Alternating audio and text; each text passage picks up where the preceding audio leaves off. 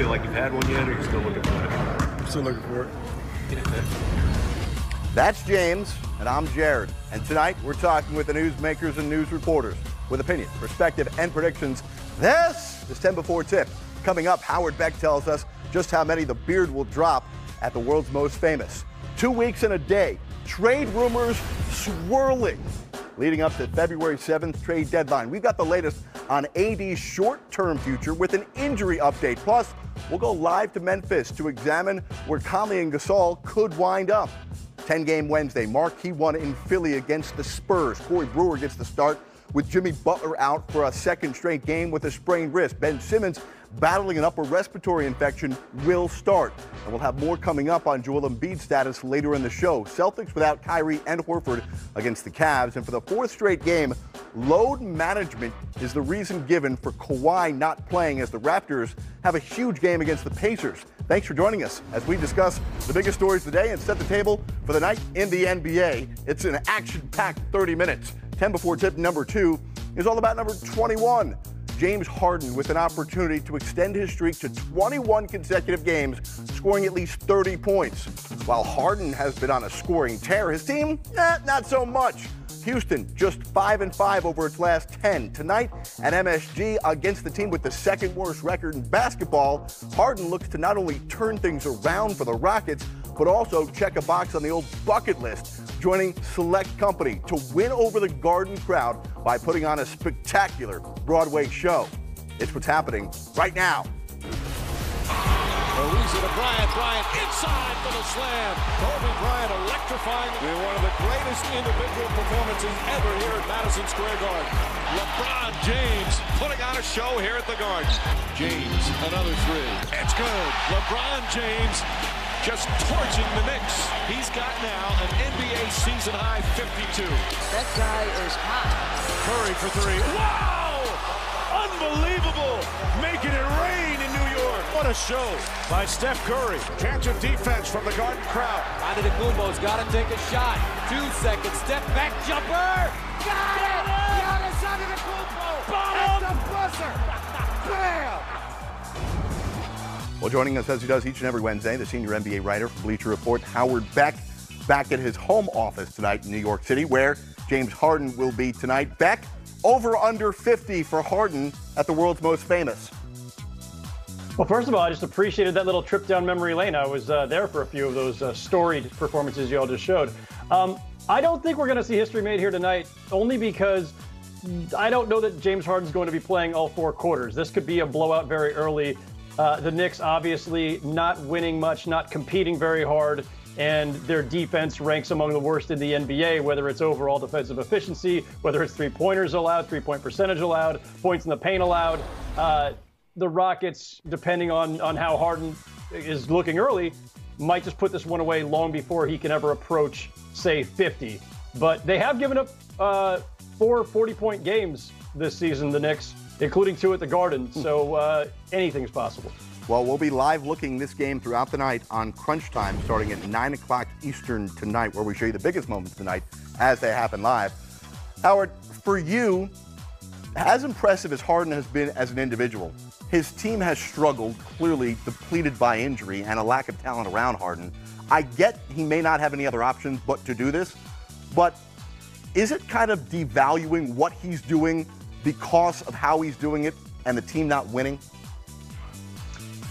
No, I mean, I, listen, the the numbers are what they are, and the streak is incredible no matter what the circumstances are. You do it out of necessity. You do it just because you're on a, a, great streak. You do it for whatever reason. These don't come about very often in the NBA, and he is doing it all out of necessity. That they're not winning uh, more recently uh, puts a, a, little bit of a damper on it. But let's face it, without this streak, the Rockets aren't even back in the playoff picture. Remember, this is a team that was really bad uh, for the first, you know, four, six, seven weeks of the season. And Harden's streak following Chris Paul's injury is what saved their season. Um, but that said, it you know you always had to figure there was going to be some limits on this. How far can Harden push it? How many nights in a row can he do this? Uh, without any help. And look, they're starting to get a little healthier in places. They're getting some guys back. Obviously, they need Capela, they need Chris Paul, but eventually they're going to need a full complement out there. I don't you think you can count on the idea of Harden just scoring 30, 40 every night for the rest of the season. I don't think that's sustainable. Rockets right now in the fifth spot, the West. By the end of the night, could find themselves flip flopping with the Spurs into the sixth spot. More from Howard Beck in a moment. On to 10 before tip number three. It's what's buzzing today around the NBA.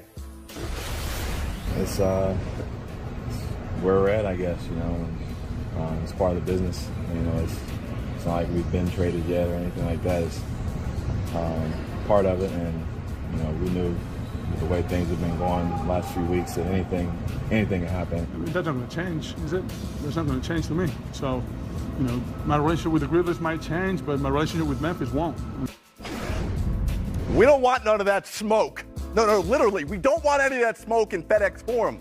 Bit of a scare about an hour ago where FedEx Forum had to be evacuated. David Cobb having to tweet out that the Grizzlies try to trade Mike Conley and Marc Gasol, and the locker room literally catches fire. Yeah, the sauna, bit of a problem there. Let's go to David Cobb, who's covering the Grizzlies tonight. David, can you see us through the smoke? There he is from the commercial appeal covering the Grizzlies here. First of all, everybody safe and sound tonight for the Grizzlies? Nobody was hurt in this fire. Uh, the entire arena was evacuated about three hours before tip. So naturally, you start to wonder: is this even game even going to go on as scheduled? But we've been assured that it is. The doors will open a little bit later than usual to the public, but as of now, it's all systems go for 7 p.m. Right. So they'll start 7 p.m. local, 8 o'clock Eastern. Another game will be live looking tonight on crunch time starting at 9 o'clock Eastern. So let's go to the other news item of the day. Marc Gasol, bit emotional right? Talking about the potential end or the days coming to an end of him being a Grizzly. How, how, realistic is the report we heard last night from ESPN that the Grizzlies are, for the first time, considering listening to offers that they'll actually act on one of those offers? Yeah, it's definitely realistic that they're going to listen. Uh, how realistic it is that they're going to act, I'm not sure because I've outlined these scenarios in some of my work, and uh, there's really not a whole lot of harm in waiting until the summer. In fact, uh, they would have the benefit this summer of knowing if and where they're going to pick in this year's draft, uh, which would be a, a, good thing to know before you make a franchise altering decision, such as parting with uh, Mike Conley, Marc Gasol, or both of them. So uh, they're definitely, I think, more in a listening phase right now, which in and of itself is certainly newsworthy given what those guys have meant to this team in the city. But uh, I don't think that it's at any level of certainty right now that they're actually going to deal them before the deadline. We heard the owner in the offseason talk about 50 wins in the playoffs, and the team races off to a great 12 and 5 start. Has the team officially waved the white flag on making another playoff run? Is there any chance they could add some pieces? No, I think they were the the white flag was waved when this signal went out, you know, yesterday that they're going to listen to to trade uh, offers for those guys. And if you watch the, the ML King uh, game on Monday when they played the Anthony Davis-less Pelicans and, and, lost by 20 at home on a day that means a lot to this city when the arena was packed, uh, that was sort of the death knell, the death knell on the grit and grind Mike Conley, Marc Gasol era in a lot of ways. And it's really hard to see them resurrecting that unless they luck out with a, Zion Williamson or something and, and compare him and Jaren Jackson with – uh, Conley and Gasol and, and, sort of phase them out that way. But even that, the, the odds of that happening are so far fetched now that it kind of does feel like this is the end. Maybe they were doing some sort of rain dance in the locker room, which caused the fire to try and get that first overall pick. But no, seriously, only 30 seconds here, David. I know this is a complicated question to ask you with that time limit, but do you believe, with how complicated it will be for different reasons to trade both of these guys, that either one of them will get the sign off from the front office on where they um, ultimately go? You know, I think that these guys, if they had it their way, they wouldn't necessarily even want to be traded. Uh, so I think the front office is going to ship them where they get the, the best deal. Uh, and it's got to reach a, a, certain threshold. I think you need at least one future oriented asset for each guy. Uh, when they traded Pau a decade ago, they got uh, two first rounders and Marc in the deal. You're not going to get that for either of these guys because these guys are over 30. They're on huge contracts. You want at least one future oriented asset for each, whether that be a promising young player or a first round pick. David Cobb from the Commercial Appeal. Glad you're safe. Enjoy covering the Grizzlies tonight against Charlotte on League Pass. Thanks a lot for joining us. Let's talk more about potential trade scenarios as we bring back in Howard Beck at Bleacher Report.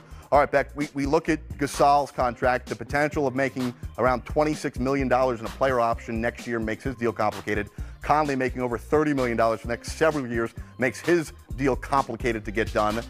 Do you see any scenario where one or both of these guys does get traded to, and where would that be? Well, uh, we're a long way from that happening. I mean, it sounds like the, uh, the the doors just swung open on this potential shopping spree for the league. And look, both of these guys could help teams. There's no question. You can go down and, and you can find plenty of teams that could use a Marcus Gasol or Mike Conley. But you mentioned the contract issues. That's part of it. Their age could be part of it, especially in Gasol's case. And so, you know, what what's worth it to the Grizzlies when you're giving up basically the symbols of your franchise, an era, a, a, certain feeling, a sentimentality, that connection that you've had with the community, with the fans.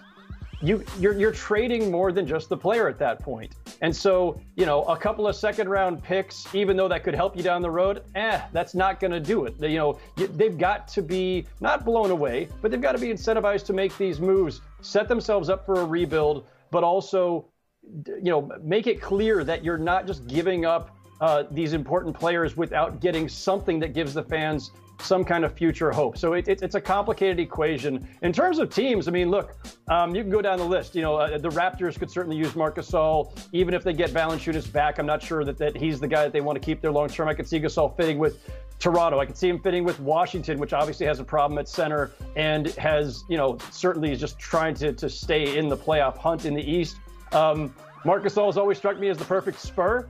So has Mike Conley, actually, for that matter. Uh, they've already got one Gasol. Why not two? Um, I mean, there's there are any number of teams where the realistic deals actually lie. Who has the assets to pull it off? What's the right configuration? That's a lot, much, uh, you know, much more difficult question. All right. While we're still on Anthony Davis trade watch, we did receive some news tonight from Anthony Davis's agent, Rich Paul of Clutch Sports, saying that the hand specialist that Anthony Davis went to go see once feared he could miss up to a month of action with the injury is now only one to two weeks. Davis will be reevaluated again later this week on Friday. So, how does this injury and how does the uncertain future of Anthony Davis in New Orleans maybe affect what teams are willing to offer for the likes of Conley and Gasol? I'm not sure there's a direct line, Jared, between these situations. I mean, listen, if Anthony Davis were out for weeks, as we originally thought might be the case, then the Pelican season is all but cooked. And it certainly takes them out of any possible discussions. But I think, you know, New Orleans is actually a really interesting potential landing spot for Mike Conley. Again, don't know if they can pull it off. Don't know if they have the goods to make a deal with Memphis and don't know if that's the deal that they want to make, especially not knowing for sure if Anthony Davis is going to stay. But getting a strong point guard to put in the backcourt next to Jrue Holiday and having those two with Anthony Davis, with suppose you know presumably Mirotic still being there, Randle, Now you've got uh, the kind of roster that can still make a run at the playoffs once Anthony Davis is healthy, and maybe convince him to stay long term. But the Pelicans are kind of stuck in between uh, these two situations here where they don't know for sure that they'll get a commitment from Anthony Davis on July 1st. And so are you planning for to do, are you are you all in planning for him to stay or are you still hedging bets not sure what you should give up in a potential deal for say a Mike Conley? All right, Howard Beck we'll check back with you in a bit. When we return on 10 before tip, we go live to Miami where Hassan Whiteside and company trying to bounce back from a loss. We'll get you set for all of that, plus a big night here on NBA TV. Crunch time comes your way at 9 o'clock Eastern.